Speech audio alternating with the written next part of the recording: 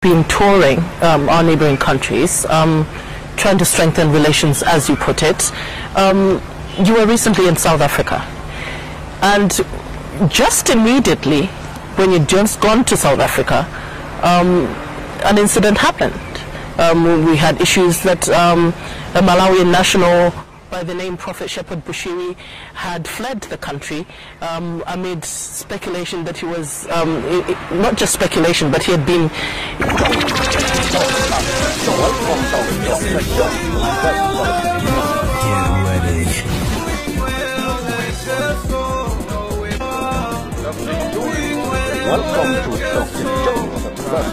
He'd been taken to court, he'd been arrested, there were a, a lot of issues surrounding him. Now, um, I want to get it from you. What is the stand of the Malawi government?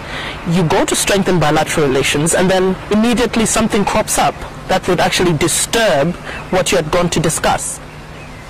Well, uh, quite unfortunate that uh, uh, the incident you've referred to coincided uh, with the president's visit. Uh, but maybe I think it would help the nation to have a little bit of background. Uh, you see, when uh, uh, we embarked uh, on a journey to visit or to pay courtesy calls to our neighboring countries, South Africa was amongst the first five countries that we had decided to visit. And we did get in touch with these countries uh, uh, they responded to us. Now, South Africa, when they responded, uh, they did indicate that the time that we had proposed was not convenient to them. And therefore, they decided on different dates, which were the dates that the president actually visited. Now, uh, you, when uh, you talk about uh, the issue of Prophet Bushiri, it has been ongoing for a long time, and all, we all know about that. And uh, it so happened that uh, uh, the very week the president was to leave for South Africa is the week that Prophet Bushiri left South Africa for Malawi. That was sheer coincidence. And there was no prearrangement or anything of that nature. Uh, now that puts uh, put us uh, in a fix, sort of, because the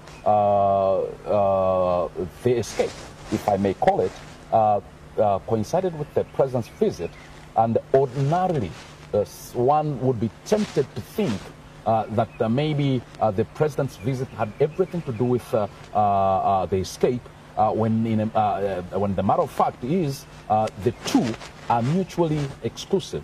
They are independent of each other. there was no correlation, there was no premeditation, there was no pre-planning whatsoever. so uh, the, the president's visit in South Africa focused on strengthening the relationship between South Africa and Malawi.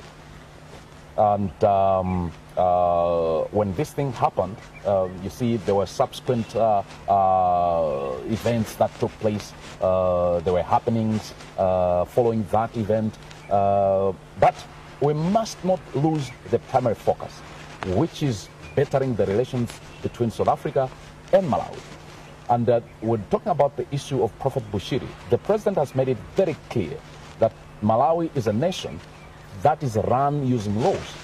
And uh, it is his firm belief that uh, uh, uh the judicial processes will take uh, their course and ultimately a way out will be reached.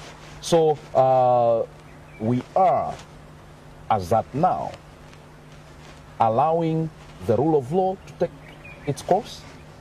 Uh, and this is one of our uh, uh, one of our pillars, and we believe that the judiciary in Malawi, which is independent, is going to make sound decisions based on law and, and all that.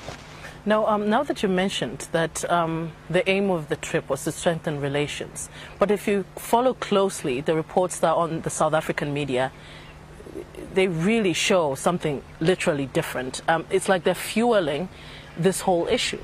Um, what's your stand on that? And how do you clear yourself internationally on what is going on? Look here. Uh, I, I, think there's a lot that has been written on social media, mainstream media, both print and uh, uh, electronic. Uh, but uh, we are a government. Uh, and in South Africa, there is a government. and the government has issued, uh, has issued a statement uh, which clearly indicates that uh, the president did not take part uh, in whatever happened uh, in as far as the, uh, uh, the uh, Bushiri's movement from South Africa to Malawi is concerned. And we have also given a statement in that regard. So I, I, I, think we should not be moved by what social media is, is saying or what the mainstream media is saying. we must depend heavily on what the two governments are saying because uh, truth be told, South African government has got intelligence, Malawi government has got intelligence, and when we make statements, we make statements based on intelligence, not speculation. Now, um, it, it, was also said, I, would like to get it clear here on record, it was speculated that your visit there was calculated, that you had gone prior to the president's visit because you wanted to meet Prophet Bushiri. And um, facilitate his coming back home because he's being persecuted, so to say. Um, how do you respond to that? Look here, um, uh, talking about uh, my going to South African advance, it's not a unique feature. Uh, all the countries that we've visited, uh, South Africa, I said, is the fifth country. Uh, I have gone in advance, and we, I will always go in. I mean, I will go ahead of the president because when I go there, I must make sure that the ground is uh, prepared for the president to come and meet uh, his counterpart and stuff like that. I'm talking about uh, uh meeting uh, Bushiri. Uh, it is speculation. and this speculation is coming from the fact that I had pictures taken with Kelvin Slugwe, who once worked with Prophet Bushiri but ceased or stopped working with Prophet Bushiri in 2016. And for those people that have been following, he normally posts about me uh, on his Facebook page. And when he heard that I was going to South Africa, where he is currently, uh, he made sure that he met me. And those pictures, some of those pictures were taken at the hotel, and uh, some of the pictures were taken at Menlyn Mall, which is close to the hotel where I was. So people have uh, misinterpreted the pictures uh, to mean uh, that uh, uh, I met Bushiri just because I met uh, Kelvin uh, Slugwe. Besides, when you try to reconcile what happened, one would clear, clearly see that what is happening is clear speculation. because Bushiri himself made a statement to the effect that he came to Malawi on a Wednesday and uh, I was in South Africa on Monday. Now, Bushiri did not fly out of South Africa from the media, at least uh, getting it from the media. Uh, if we would rely the uh, on the information that is coming from the uh, social media, uh, he came here by road. And if he came here by road, what it means is that he did not leave on, on, on Wednesday. He might have left a day or two earlier in order for him to arrive in Malawi on Wednesday. Uh, which makes it uh, laughable uh, when people say that I met Bushiri on Tuesday. I must put it on the record. On the said Tuesday, I never met uh, Prophet Bushiri. All right. Um, still on that issue, and finally on that issue, um, all that is going on between South Africa and Malawi in relation to Prophet Bushiri, will it not strain the relations that you're working so hard to mend?